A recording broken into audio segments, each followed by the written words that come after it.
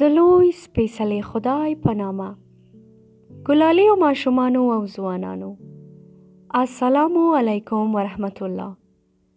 دیر خوشحاله یم چې نن مې تاسو ته یوه په زړه پورې کیسه راوړې ده زموږ د کیسه عنوان د اوبو له مار سره جالبه سفر ده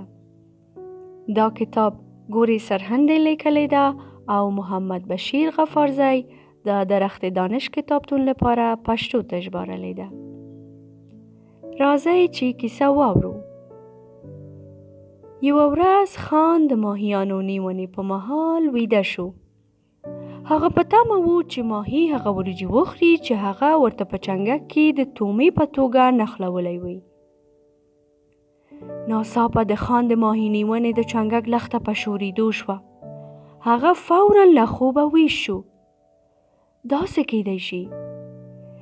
یوه ژوې هڅه کوله چې ځان د ماهي نیونې له چنګک څخه خوشې کړي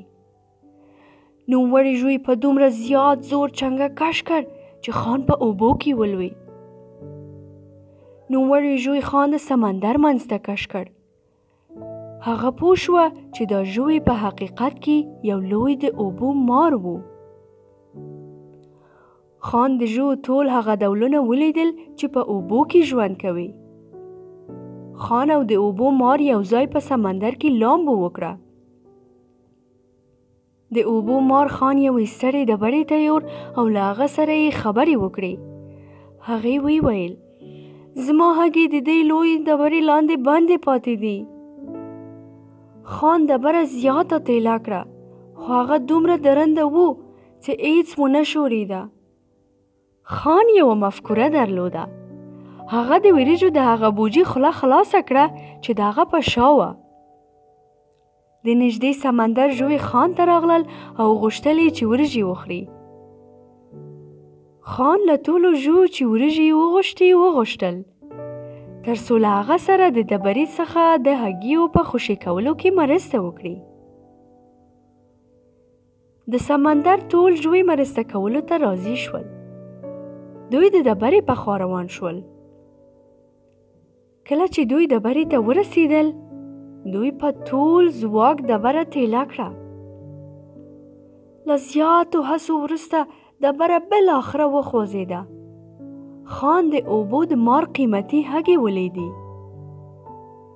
خان خپل لاس اوش کړ او په احتیاط یې هګۍ راواخیستې هغې په کرپېدو او شوریدو پیل وکړ په هګۍ کې څه پېښېدل؟ د هګۍ څخه د اوبو یو کوچنی مار راووت. هغه خوندی و. د اوبو مار له اندازې زیات خوش و. همداراز خان او د سمندر نور ژوی هم خوش وو. خان بالاخره استری یو له ټول هیجان سره ویده شو. د اوبو مار هغه په خپل شا په خوندي توګه یوړ خان یو ځل بیا د سیند په غاړه راویش شو هغه ولیدل چې خالی سطلې له کبانو دک دي آیا دا ټول یو خوب وو دا قصه په همدې ځای پای ته رسیږي شه ګرانو کوچنیانو خدای دې وکړي چې دا لندې قصې مو د خوشي وړ ګرځېدلی وي موږ د درخت دانش کتابتون کې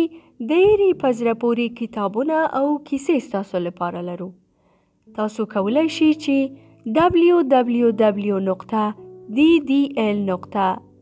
ته ولاړ شئ او داسې په زړه پورې قصې هلته ولولئ واورئ او دانلود وکړئ